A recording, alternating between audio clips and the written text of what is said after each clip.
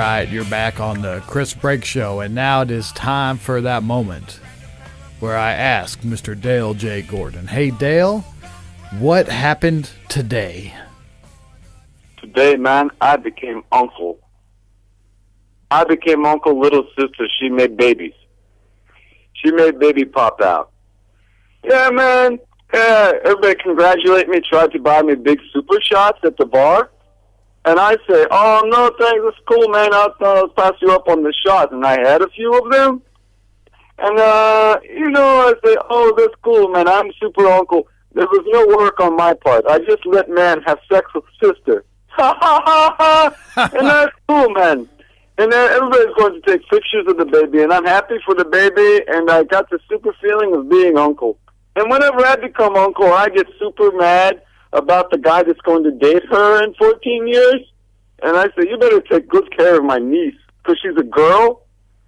And it makes me good to be an uncle. It makes me good to be an uncle, and I like everyone that has babies. But every time someone tries to show me a picture of someone that uh, is uh, taking pictures of something that they made a baby of, and the woman says, "Look what I pushed out of my vagina," no one ever will. No one ever gets happy with me when I show them pictures of things I pushed out of my penis. Usually semen mess or pee, and all this trouble. And all this trouble that I cause myself by thinking about things too much. About this cause of trouble, I want you to know what it's like to be an uncle. My uncles hung me upside down by my feet off the porch, and they gave me Indian rug burns, and they gave me noogies. And every time I asked questions about things about life, like how come I have a skeleton, they would tell me funny things, like um, that my bones were used to make butter.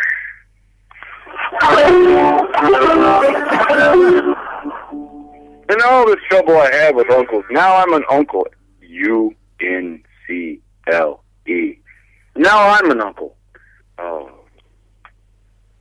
Brother, let me tell you what it's like when you become an uncle. Feeling come over young man whose sister had a baby. Feeling come over man whose sister had a baby. Feeling come over young man whose sister had a baby. And he don't want nobody messing with his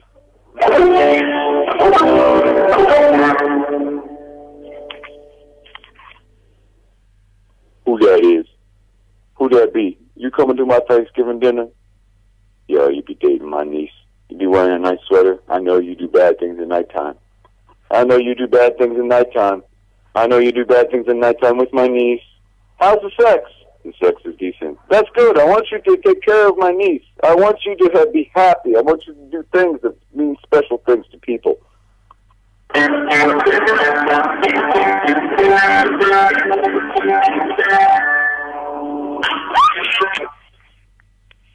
Who that? Who that is? That you? You used to take me on the church bus. Oh, my mom to say, I gotta. I, I'm an uncle now, and it was um easy on my part. You will go visit, and you will buy things for him. You will purchase things. Where do you want to buy stuff for the niece? At the mall. Doesn't it mean more if you make it on your own?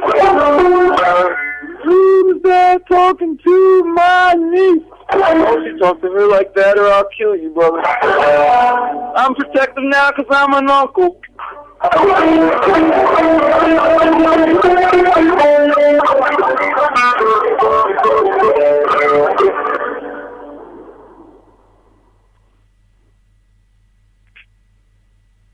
I ran out of gas while I was parked.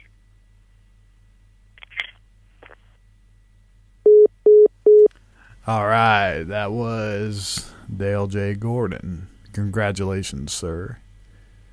I'm happy to hear about your niece.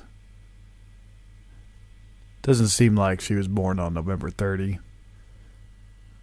But seems like you got that news pretty fast and it got delivered pretty fast. More power to you, sir. You're listening to the Chris Brake Show. Until next time,